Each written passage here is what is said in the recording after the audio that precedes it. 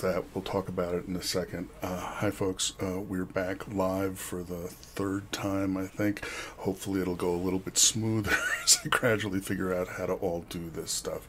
So, uh, today I want to talk about failure uh, uh, and not just doing it, although I have plenty of that, but avoiding it and the consequences of that as well.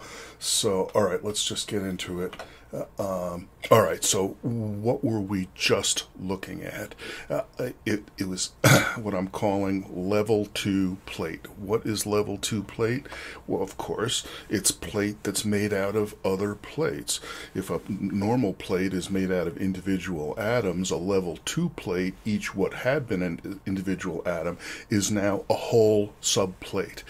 And what we were seeing in the opening demo is uh, the uh, L2 plates were kind of fighting with each other about space, and so they were uh, the L the L1 plates, the the plate plates that we've been using for the last couple of months, uh, uh were blowing up because they were seeing inconsistencies with each other. But then L2, the L2 plate was healing up by reseeding uh, new L1 plates within it, uh, um, and yeah, it, it didn't it's not working very well yet. Uh, um, just for example, uh, uh, so the, these plates here. Um, uh, they were originally surrounding uh, a little atom deck, you know, from like three months ago or something. Uh, um, and the atom decks were dying for reasons I don't understand. Uh, but furthermore, the level two plate surrounding those things was supposed to be a three by three level two plate, so it should should have had nine. Uh, um, uh, atom decks, each of them surrounded by this new L2 plate stuff. Um, and it's clearly messed up and they're going all over the place. I don't know why that's happening as of yet. This is all pretty pretty new this stuff down here, uh, um, these are, are ASCII plates, uh, the same things that we're using in the Psi demos to display the uh, function value scores that are coming back. That's also supposed to be 3 by 3 and that actually does a pretty good job managing to stay 3 by 3 except it gets invaded uh, by the cancerous little plates. So very early, you know, lots of problems. And why build L2 plates at all. And the idea is um, to embrace failure. Uh, um, and let's circle around to this. Uh, well, so there's this philosophical question like are we li- is our universe a simulation or is it real? Uh, uh, you know put the actual philosophy parts of it uh, aside and just say from a practical point of view what it looks like to me is that in a simulation you can control the failures. You, you might you might not you might make life difficult for yourself but you don't have to. So there's always a slippery slope towards uh, just having you know nice errors. Uh, um, and the serious question is when you're uh, with reality, you have to deal with the actual errors that you've got. Uh, um, and so, you know, we're talking about robust first computing here, right? For ages. Uh, um, and that leads to this fundamental question about robust to what kind of errors? Because, you know, when you're focusing on correctness, uh, there, you know, at least in simple cases, the, it, it's clear what correct means. And once you hit correct, you know, exactly down to the bit correct, then you're done. And uh, now you can focus on efficiency. And that's our traditional computing story. But once you admit that mm, there's going to be underlying failures, the hardware's not going to be deterministic, you're going to have to deal with something. Now you have this fundamental question. You say, well, okay, but what kind of errors does my robust first computing need to be able to handle? And the answer is, well, it needs to handle whatever kinds of errors actually occur, but that couples the abstract computing to whatever physical implementation you may be dealing with. And implementation one might have different kind of errors than implementation two. But in general, across implementations, I, you know, my experience is there's there's nice errors and there's nasty errors. And, and you know, nice errors are small individual individual pieces cleanly vanishing, poof, gone. Uh, um, and the nasty errors are when things, you know, like they don't completely disappear, but they get corrupted internally.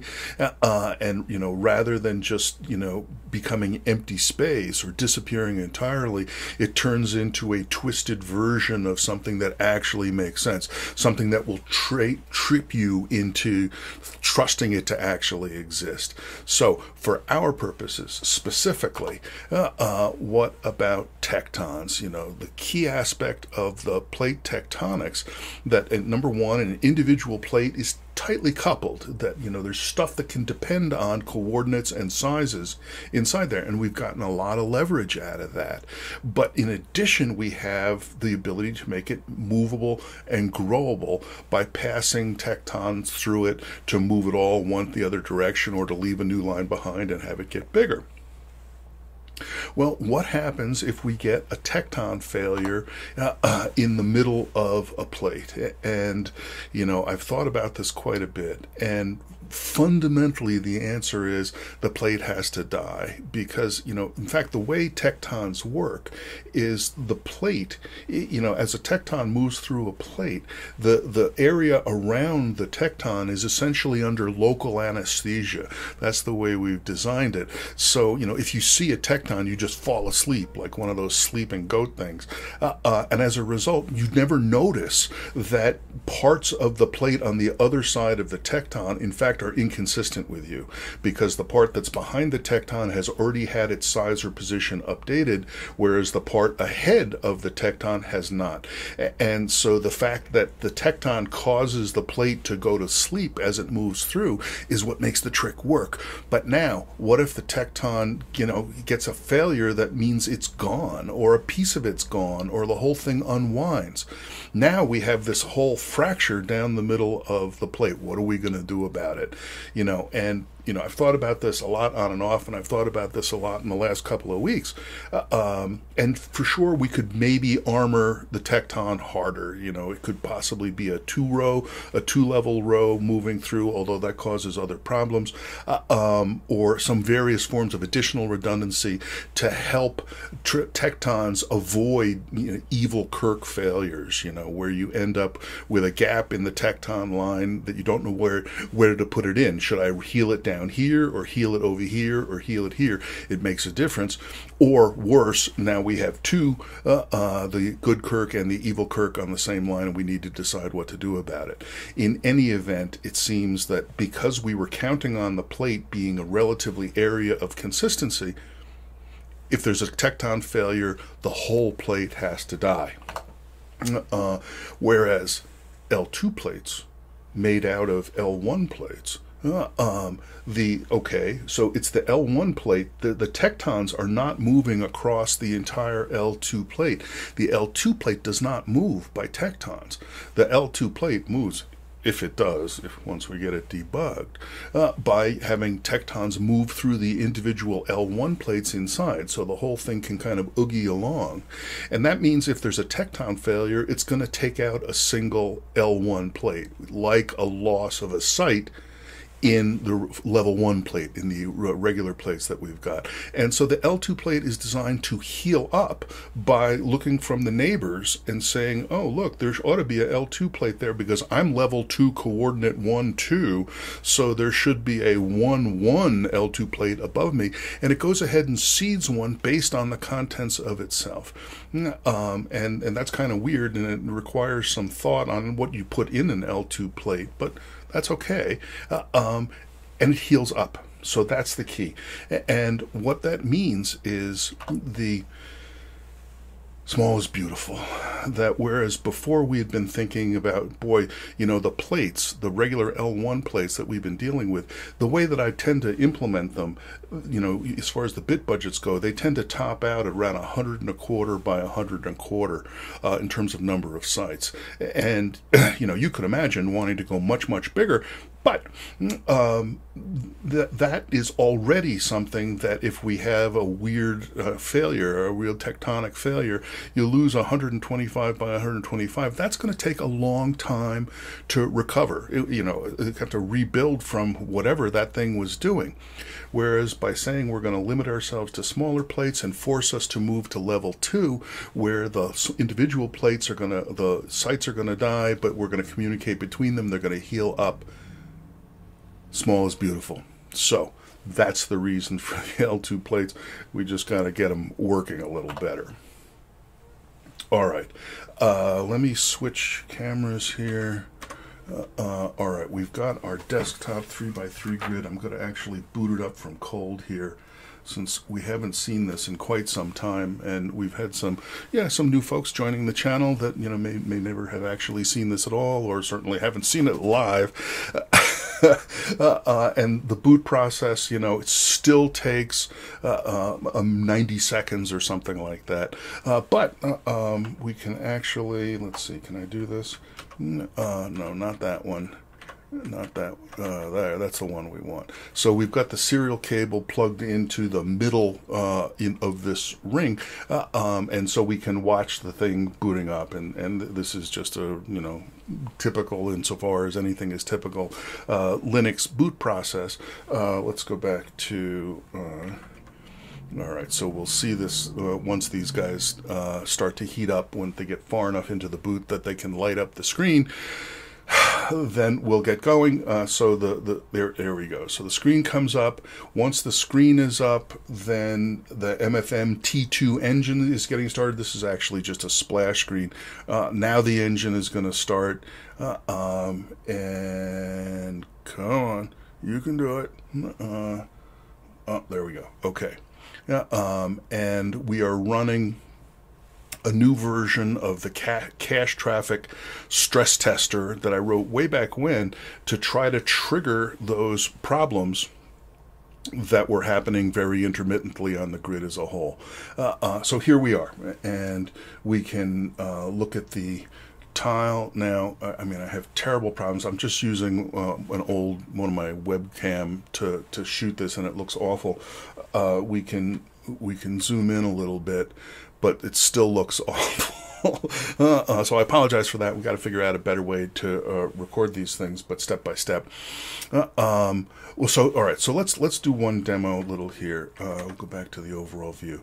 So suppose I uh, have this tile just crash. I'll simulate a, a, crash myself, and we'll see what happens to the rest of them uh, uh, all right, so their user requested failure. That's the only kind of failure that we consider acceptable. And the engine automatically restarts. We saw that the neighbor closed the connection and now it's opening up again. And uh, it, you can see that the, the connections uh, northwest and southwest have closed and now they've opened again and it all recovered fine. So that seems great. But the only reason that that worked was because there was nothing going on in the universe. So if we actually seed the universe with uh, a uh, cache traffic stress tester, which we will do, uh, um, boom. Okay, the way the cache traffic stress tester works is it, it fills every time we get an event, we essentially take all of the sites that we can reach, the 40 sites that we can reach, and increment a counter in all of them, which forces the underlying MFM T2 engine. If the uh, event is near an edge, uh, it means it's going to have to transmit the maximum amount of information uh, across to the neighboring tiles to let them know that all all of these sites had changes. Uh, um, so now, uh, if we try to do the same thing, if we, you know, like crash this tile, uh, uh well, first off, here, look at this. So now when we have, uh, you can see the, the traffic going through here. It's, it's really pounding uh, a, a, lot. Um, but here we go. Now we'll crash it. User requested failure. Ba-boom, ba-boom. There you go. Nice, huh? we took out the entire grid, uh, um, and and the reason is, as we've talked about on and off in the past, is once we have a bunch of events in progress, the for to in order to get whatever little uh, um, uh, efficiencies, well, it's, it's what it is, uh, um, that we can have uh, we each tile is a bit has the ability to have like uh, 16 or 32 events going simultaneously that involve neighboring tiles, and so they wait to get packets that are labeled for them until they can advance that uh, uh, event, and once it's done and the cache has been exchanged, then it gets committed and so forth. And once it works fine, and you know this is an advantage of the fact that an event window is so circumscribed. It means you know we know that as long as the changes fit inside this event window, we can have a whole bunch of other ones going elsewhere, and there's there's no interference between them as long as something doesn't go wrong in the substrate, as long as packets don't get lost or a tile uh, disappears. Uh, um, but once we had all that stuff going, as we did, uh, um, well, let's go back to sites, uh, display sites. Now we're doing the flash traffic commands. This is where we send traffic to the grid uh, uh, that tells everybody to do it using the special flash traffic channel that we implemented. Um, and now once again, we can seed uh, the the stress tester, and off we go. Uh, um, so the point is, is when one of these guys crashes and all these other ones have dozens of events partially in flight, they don't know what to do about it. And they don't know what to do about it because I don't know what to do about it. Uh, what it all comes down to is that we are going to have user visible failures, where user means the, the Ulam programmer level, where the, you know, Ulam signs up to say, I'm going to try to provide you best effort deterministic execution.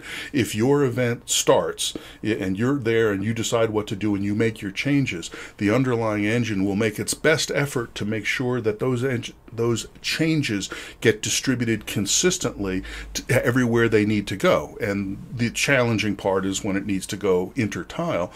Uh, and we've got that working lots, but we, we do not and we cannot have it working 100% of the time because you know the damn neighboring tile is a separate uh, device. You know, it can be pulled out and, and, and dealt with separately. So there will be failures, and they're going to have to propagate up to the user visible program level. And we don't have any semantics for that. We don't know how to tell the Ulam level that, you know, sorry, I promised it was going to be deterministic. It's not. Uh, um, so that's where we were you know months and months ago and that's where I went and just left it. You know it, you know because it, you know it's not like the tile is so uh, important. The tile is in service of the sites and we would love it if the sites could always have guaranteed success guaranteed deterministic events but we can't guarantee that. We know that. So the goal for this update was to get my head back into the tile code and deal with it and try to start mapping out how we're going to decide what to do. And when I started two weeks ago, I was thinking that the issue, the work for me was going to be to say, oh, look at the Linux kernel code and the communication processor code and figure out where the bug might be. But then I gradually realized that's really not it. What has to be decided is how to present failure, how to embrace the failure and present it to the uh, next level of the software in whatever form will do the least amount of damage to them. And that's what led to me making the L2 plate uh, uh, to say, you know, we, we've been sneakily, because we've had deterministic events, we've been having the, the plates getting bigger and bigger and bigger, doing more and more stuff in it. We feel like it's really cool. But now here comes reality. Here comes the grid saying, okay, you know, there's going to be failures that are going to cause entire plates to blow up. And they're only going to blow up because we, we, wrote software. We you know and this is part of what's been in place from the beginning. There's a, there's the uh, two death bits inside each element of plate that says you know when something's gone wrong take out the whole plate take out my subplates take out the super plates four different combinations of how to die. That has been key to understanding what's going on. All right. So let's leave this uh, for now. Uh, uh, have we got time? Uh, we're taking up a lot of time. Uh, um, uh, we can go back over here. Can I maybe show you a little bit about? okay, yeah. Let's just real quick. So now we are talking to the middle tile on this thing, and uh, I, I wrote a new program this week. Uh, T2, T2 tile, base, apps, pview. Uh, um, th- this is just to give us a view on how the how much packet traffic is moving in and out of whatever tile we're looking at. So we have a row, uh, you know, wherever it is, uh, northeast, east, southeast, southwest, and west. MFM is the engine traffic. That's the most important stuff. Uh, BLK, that's bulk. That's for updating the CDM, the Common Data Manager packages. And then this is just the sum of them over here. Uh, um, and so, you know, we're doing something like uh, 75, you know, depending on things, you know, it, it, gets hot in here. The processors slow down. What are we, what are we running at here? Oh, we're still running at one gig. That's as fast as these things can go. Uh, um, uh, and we're doing something like 70 packets, 80 packets. Uh, th- that'll climb up to about 90 packets a second in and out in all six directions. Uh, in this case, because we're in the middle uh, tile, so that fully connected all the way around. Uh, um, and, you know, is that pitiful? you know, compared to what? Nothing else has ever done this, uh, um, you know, in, in these specific design constraints. Uh, uh, so who knows? And so it's doing uh, five five to six uh, kilobytes a second, which seems pretty pitiful, both input and output in each of six directions. And you know, I would love that to be megabytes uh, uh, or at least hundreds of kilobytes. And this is really the I still think the single biggest thing that's going to limit the T2 tiles a, AER average event rate. Uh, um, in the end is, is is just our raw communication speed and we'd love to look forward to a T3 tile that using some differential signals that could go much much faster than all of this but again the point is spring the bear traps, see what kind of failures we've got. You know, yeah, look at this. Uh-uh. Friday, October 9th. You know, why is that going on? Why is that going on? Because the, the middle tiles, anything except for the tiles along the west edge, they never see the network. So they can't run network time. They have no idea what time it is is. Uh, and uh, that that's a feature once again because you know assuming the existence of coordinated global time is another form of synchronization, another form of coupling systems together that we don't want to do. Uh, uh, okay, well anyway, so that's that that's the packet viewer, and we also have, and then I will stop. Uh, sys class ITC packet the new one is FIFOs. Yeah, okay.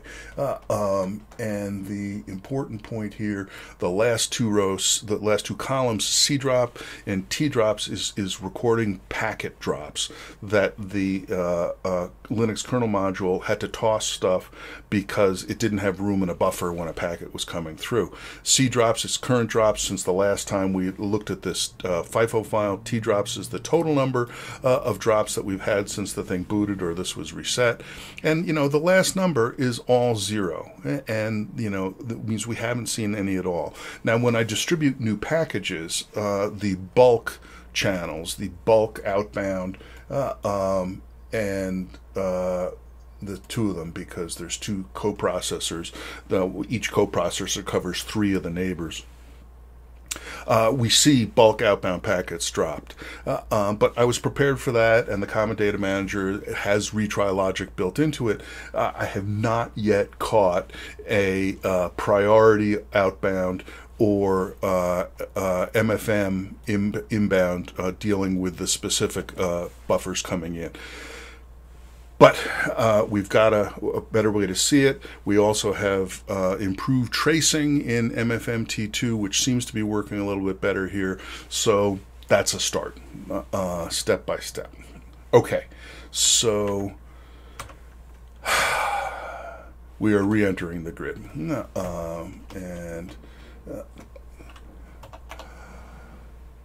embracing failure. So I've already talked about this, and I'm taking a lot of time, so I'll skip over it. But yeah, you know, the the the hallmark of it is how big are the plates.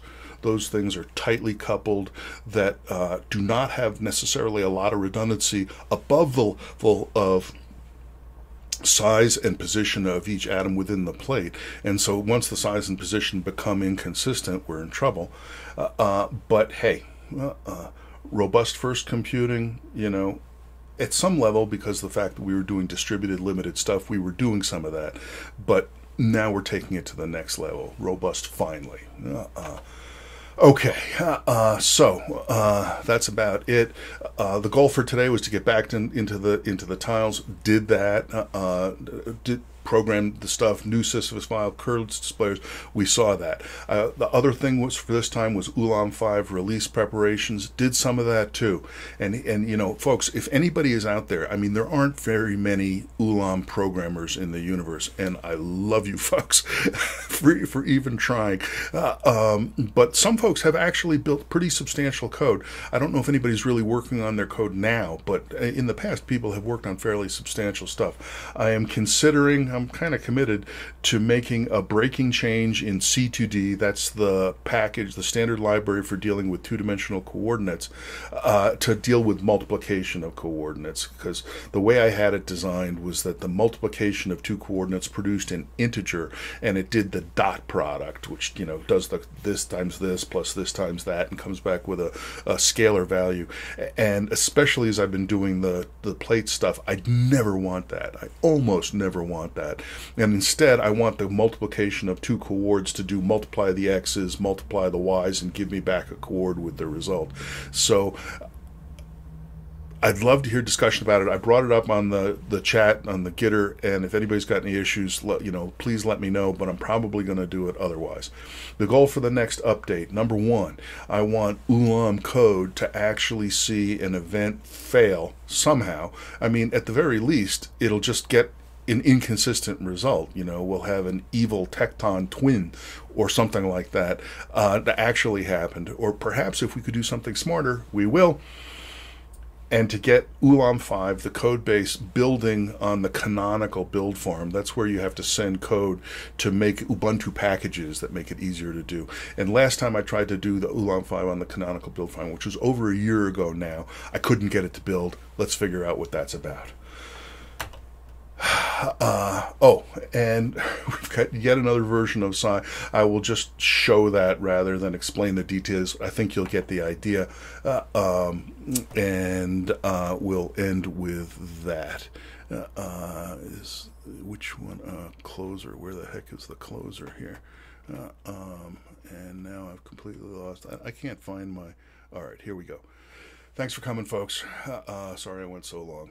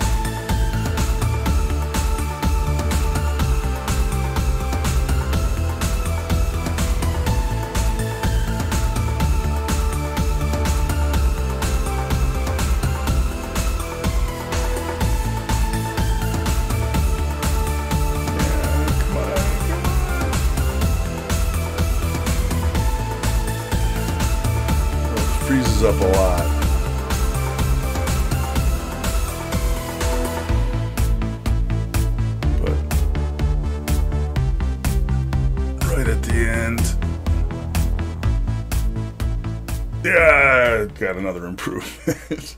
yeah, um, all right. Um, uh, so that's it. See you time.